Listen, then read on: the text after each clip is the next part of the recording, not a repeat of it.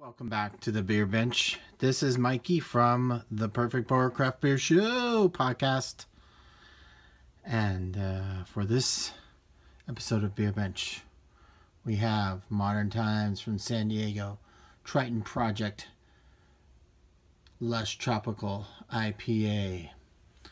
Triton Project, uh, there's a couple things, like a couple things I, I know Modern Times usually likes to name their beers after. Uh, uh, like island, like uh, fantasy, not fantasy island, but you know, fictional or whatever, maybe non-fictional islands and and various things. I'm really effing that up, but whatever.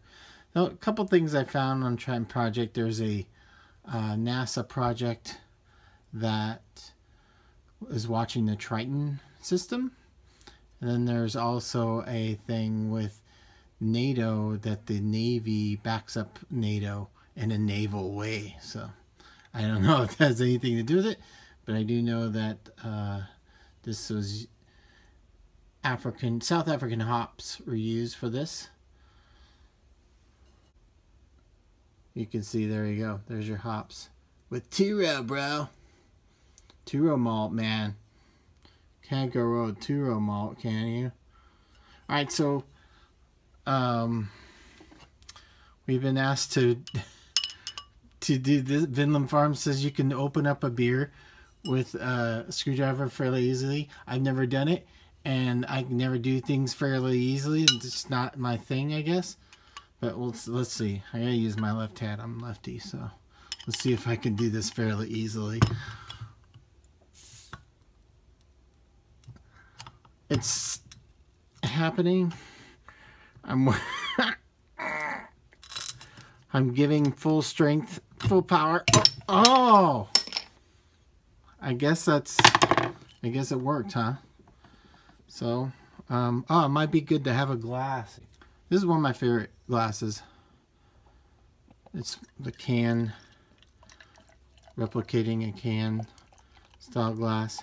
I think it works for IPAs. Just that little ridge works.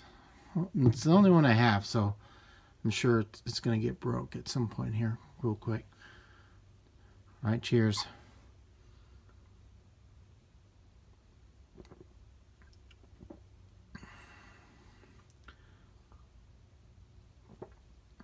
It's lovely.